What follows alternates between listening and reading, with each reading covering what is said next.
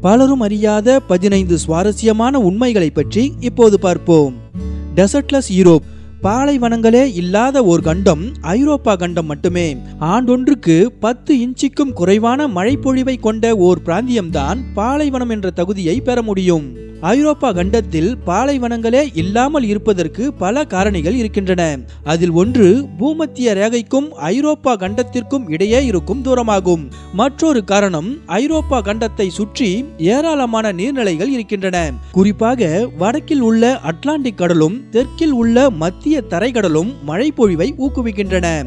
மேலும் ஐரோப்பா கண்டத்தின் தென்பகுதி மலைப்பாங்கான இடத்தில் அமைந்துள்ளமையால் அப்பகுதியின் ஈரப்பதம் அங்கு மழை மேகங்கள் உருவாவதற்கு காரணமாக இருக்கும் நீராவியை ஈர்த்து மழை பொழிவுக்கு வித்திடுகிறது. இதன் காரணமாகவே ஐரோப்பா கண்டத்தின் நிலப்பகுதிகள் யாவும் பாலைவனங்களின்றி செழிப்பாகவே இருக்கின்றன. தி எட்டர்னல் ஃபயர் ஈராக் நாட்டின் வடக்கு பகுதியில் உள்ள கிர்குக் எனும் நகரில் நிலத்தினுள் இருந்து வரும் எரிவாயுவால் இடைவிடாது எரியும் ஓர் அணையா நெருப்பு இருக்கின்றது. தி எட்டர்னல் ஃபயர் என்று அழைக்கப்படும் இது ஓர் மிகப்பெரிய எண்ணெய் வயலில் அமைந்துள்ளது. சுமார் நாற்பது மீட்டர் விட்டத்திற்கு எரிந்து கொண்டிருக்கும் இந்த அணையா நெருப்பை பற்றின குறிப்புகள் பண்டைய கிரேக்க வரலாற்று ஆசிரியர்கள் ஹெரோடட்டஸ் மற்றும் புளூட்டார்க் ஆகியோரது குறிப்பிலும் மற்றும் பைபிளின் பழைய ஏற்பாட்டில் உள்ள டேனியல் ஆகமத்திலும் காணப்படுவதால் இந்த அணையா நெருப்பு சுமார் நான்காயிரம் ஆண்டுகளாக எரிந்து கொண்டிருக்கலாம் என கணிக்கப்பட்டுள்ளது. ஃப்ளேம் த்ரோவர்ஸ் தென்னாப்பிரிக்காவில் உள்ளவர்கள் கார் திருட்டை தடுக்க தங்கள் கார்களில் பிளேம் த்ரோவர்ஸ் எனப்படும் தீப்பிழம்பை வீசும் அமைப்பை சட்டபூர்வமாக பொருத்திக் கொள்ளலாம். தென்னாப்பிரிக்காவில் காரில் செல்வோரை வழிமறித்து செய்யப்படும் கொலை கொள்ளை கற்பழிப்பு கடத்தல் போன்ற குற்றங்கள் அதிகரித்தமையால் அதனை தடுக்கும் பொருட்டு கார்களில் பிளேம் த்ரோவர் எனும் கருவியை பொருத்தும் யோசனையை தெரிவித்தார் அதன் கண்டுபிடிப்பாளர் கால் ஃபோரி என்பவர். அவரது யோசனை ஏற்றுக்கொள்ளப்பட்டு பெரும்பாலான தென்னாப்பிரிக்க கார்களில் இருபுறமும் இந்த பிளேம் த்ரோவர் கருவிகள் சட்டபூர்வமாகவே பொருத்தப்படுகிறது. காரை வழி வழிமறித்து குற்ற செயலில் ஈடுபடும் நபரை காரின் டிரைவர் காருக்குள் இருந்தபடியே இந்த ஃப்ளேம் த்ரோவர் கருவியை இயக்கி வழிபறி நபருக்கு தீக்காயத்தை ஏற்படுத்தி தப்பிக்க முடியும். பயோபஸ். இன்று உலக நாடுகள் அனைத்திற்கும் பொதுவான மற்றும் முக்கியமான பிரச்சனை என்று பார்த்தால் அது உலகம் வெப்பமயமாதல் தான் உலகம் வெப்பமயமாதலை தடுக்க பல்வேறு நாடுகள் பலவித முயற்சிகளை செய்து வருகின்றன. அப்படி இங்கிலாந்து எடுத்த முயற்சிகளில் ஒன்றுதான் பயோபஸ். இந்த பயோபஸை மனித கழிவுகளையும் மற்றும் உணவு கழிவுகளையும் கொண்டு இயக்குகிறார்கள். இங்கிலாந்தின் பாத் மற்றும் பிரிஸ்டல் நகருக்கு இடையில் இயக்கப்படும் இந்த பயோபஸ் ஆனது மீத்தேன் நிறைந்த வாயுவை பயன்படுத்தி இயங்குகிறது. இந்த வாயுவானது மனித கழிவு மற்றும் உணவு கழிவுப் பொருட்களில் இருந்து வீசும் நெடியில் இருந்து உற்பத்தி செய்யப்படுகிறது. பொட்டுலினம் டாக்சின் உலகின் மிக கொடிய விஷமாக கருதப்படுவது பொட்டுலினம் டாக்சின் என்பதாகும். போட்டாக்ஸ் எனவும் அழைக்கப்படும் இதனை உடல் அழகை மேம்படுத்தும் நோக்கங்களுக்காக உலகளவில் மில்லியன் கணக்கான மக்கள் பயன்படுத்தி வருகின்றார்கள். அழகுக்காக உடலின் பல்வேறு பகுதிகளில் இந்த போட்டாக்ஸ் இன்ஜெக்ஷனை போட்டுக்கொள்ளும் பலருக்கும் இது நரம்பு மண்டலத்தை பாதிக்கும் ஓர் கொடிய நச்சு என்பது தெரிவதில்லை. இது நரம்பின் ஊடாகவோ தசையின் ஊடாகவோ அல்லது நுகர்வதன் மூலமாகவோ உடலுக்குள் சென்றால் பார்வை இழப்பு நினைவிழப்பு பேசுவதில் சிக்கல் உள்ளிட்ட தீவிர உடல் பாதிப்புகளுக்கு வழிவகுக்கும். மனிதர்களுக்கு மட்டுமன்றி விலங்குகளுக்கும் கூட தீங்கு விளைவிக்கும் இந்த பொட்டுலினம் டாக்சின் பல்வேறு வகைகளில் இருக்கின்றன. அவற்றில் சில மிக தீவிரமான விஷத்தன்மை கொண்டவை. ஓர் மனிதனை கொல்ல ஒரு நேனோகிராமும் ஒட்டுமொத்த மனித இனத்தையே அழிக்க ஒரு கிலோ அளவிலான பொட்டுலினம் டாக்ஸின் போதுமானது. Sloth poop dance. ஸ்லோத் என்பது சோம்பேறியான ஓர் விலங்கினமாகும்.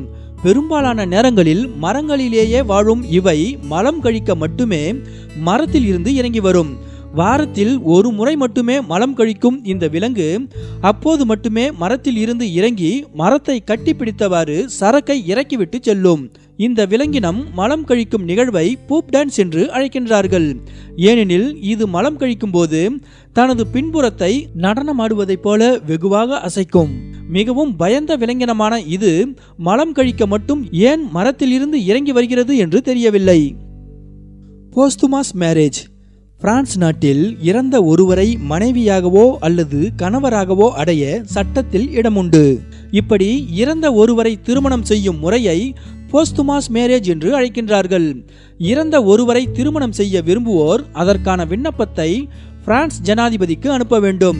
அவர் அந்த விண்ணப்பத்தை நீதித்துறைக்கு அனுப்புவார். இறுதியாக அது திருமணம் செய்ய விண்ணப்பித்தவரின் மாவட்ட வழக்கறிஞருக்கு அனுப்பப்பட்டு ஆய்வு செய்யப்படும். இறந்தவரை திருமணம் செய்வதற்கான நியாயமான காரணங்கள் போதுமானதாக இருந்தால் இறந்தவரின் இறந்த நாளன்று போஸ்துமாஸ் மேரேஜ் எனப்படும் அந்த திருமணம் சட்டப்பூர்வமாக நடத்தி வைக்கப்படும். மிசைல் மெயில் வெளியூரிலிருந்து தபால் துறை மூலமாக அனுப்பப்படும் ஓர் பார்சல் நமக்கு வந்து சேர எப்படியும் இரண்டு மூன்று நாட்கள் ஆகிவிடும் ஒருவேளை விரைவு பார்சல் சர்வீஸ் மூலமாக அனுப்பப்பட்டாலும் கூட பார்சல் நமது கைக்கு கிடைக்க குறைந்தபட்சம் அரை நாளாவது ஆகிவிடும். வெளியூரில் இருக்கும் ஒருவருக்கு சில நிமிடங்களில் பார்சல் அனுப்ப முடியுமா என்றால் அது கிட்டத்தட்ட இப்போது சாத்தியமில்லை. ஆனால் யுஎஸ்பிஎஸ் எனப்படும் யுனைடெட் ஸ்டேட்ஸ் பார்சல் சர்வீஸ் இதனை ஆயிரத்து தொள்ளாயிரத்து ஐம்பத்து ஒன்பதாம் ஆண்டே சாத்தியப்படுத்தி காட்டியது.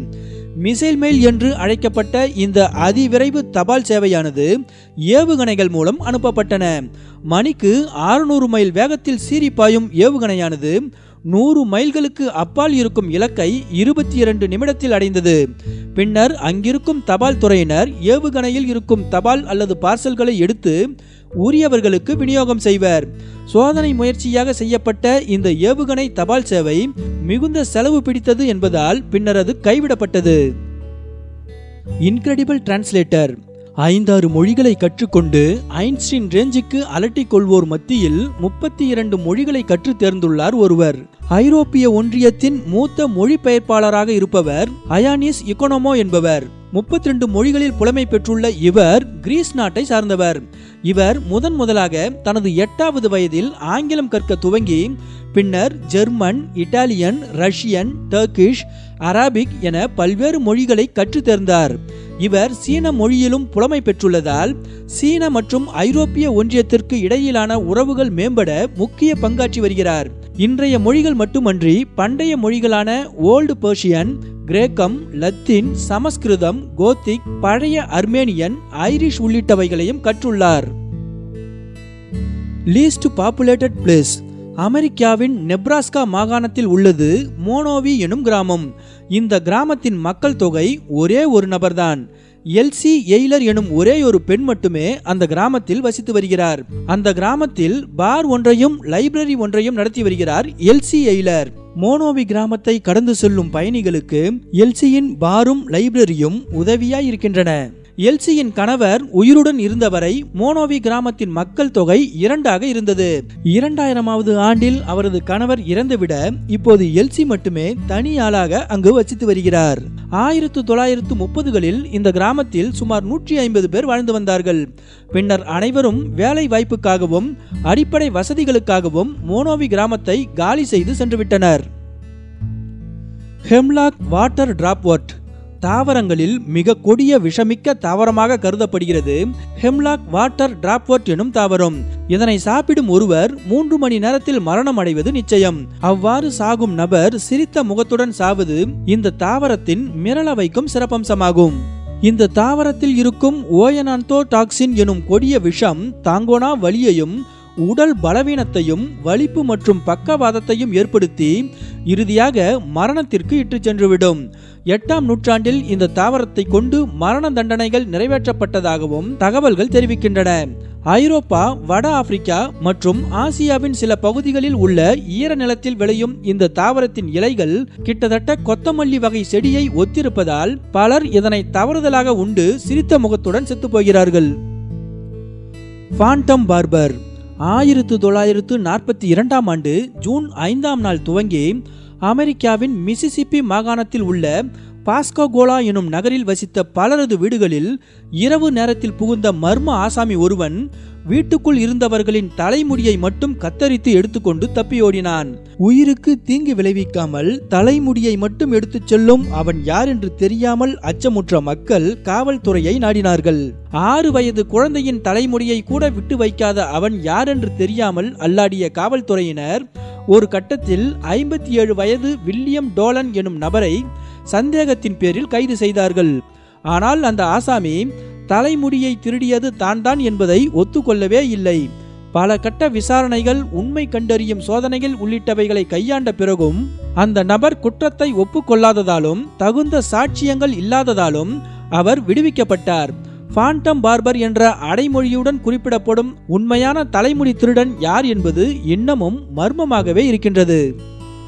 பென்தராபோபியா மாமியாரை கண்டால் மருமகள் அல்லது மருமகனுக்கு ஏற்படும் பயத்தை பென்தராபோபியா என்று அழைக்கின்றார்கள்.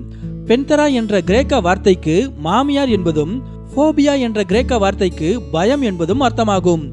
மாமியார் மீதான பயத்தின் தீவிரத்தை பொறுத்து பென்தராபோபியாவால் பாதிக்கப்பட்ட நபருக்கு கவலை பீதி வியர்வை வலிப்பு குமட்டல் அதிர்ச்சி பேதியாதல் போன்ற பாதிப்புகள் ஏற்படும். பனானா பிரசிடென்ட் ஜிம்பாப்வே நாட்டின் முதல் ஜனாதிபதியின் பெயர் பனானா என்பதாகும். இதனால் அவர் பதவி வகித்த காலத்தில் அந்நாட்டு மக்கள் வாழைப்பழத்தை தொடர்புபடுத்தி எவ்வித ஜோக்குகளும் அடிக்கக்கூடாது என்ற தனிச்சட்டமே இயற்றப்பட்டது. Word world record. ஆயிரத்து எண்ணூற்று நாற்பதுகளில் புகழ்பெற்ற அறுவை சிகிச்சை நிபுணராக இருந்தவர் ராபர்ட் லிஸ்டன் எனும் மருத்துவர். இவர் அதிவிரைவாக அறுவை சிகிச்சை செய்வதில் வல்லவர். அதாவது வெறும் இரண்டரை நிமிடத்தில் ஒருவரது காலை அறுவை சிகிச்சை மூலம் துண்டிக்கும் திறன் படைத்தவர். வெறும் இருபத்தி எட்டு வினாடிகளில் ஒரு கையை அறுவை சிகிச்சை மூலம் அகற்றுவதில் வல்லவர். அனஸ்தீசியா மயக்க மருந்து கண்டுபிடிக்கப்படாத அக்காலத்தில் ராபர்ட் லிஸ்டனின் இந்த வேகம் நோயாளியின் வலியை குறைப்பதிலும் நோய் தாக்கத்திலிருந்து உடனடி விடுதலை பெறவும் உதவியாய் இருந்தது. இப்படி சில வினாடிகளில் அறுவை சிகிச்சையை செய்து முடிக்க வல்ல ராபர்ட் லிஸ்டன் ஆயிரத்து எண்ணூற்றி நாற்பத்தி ஏழாம் ஆண்டு நோயாளி ஒருவரின் காலை அகற்ற அதிவிரைவாக அறுவை சிகிச்சை செய்தபோது தனது உதவியாளரின் விரல்களையும் சேர்த்து தவறுதலாக துண்டித்துவிட்டார் நோயாளியும் உதவியாளரும் செப்டிக் ஆகி இறந்து போக அதனை பார்வையிட்ட மற்றொரு மருத்துவ கண்காணிப்பாளர் அதிர்ச்சி காரணமாக இறந்து போனார். ஒரே அறுவை சிகிச்சையில் மூன்று பேர் இறந்து போக காரணமானதால் ராபர்ட் லிஸ்டன் முன்னூறு சதவிகித இறப்பை கொண்ட ஒற்றை அறுவை சிகிச்சையை நிகழ்த்தியவர் என்ற மோசமான வரலாற்று சாதனையை படைத்தார். இந்த தகவல் உங்களுக்கு பிடிச்சிருந்தா லைக் ஷேர் கமெண்ட் பண்ணுங்க. மேலும் இது போன்ற சுவாரஸ்ய தகவல்களை உடனுக்குடன் தெரிந்து கொள்ள எஸ்எஸ் டிவி தமிழ் சேனலுக்கு சப்ஸ்கிரைப் பண்ணுங்க.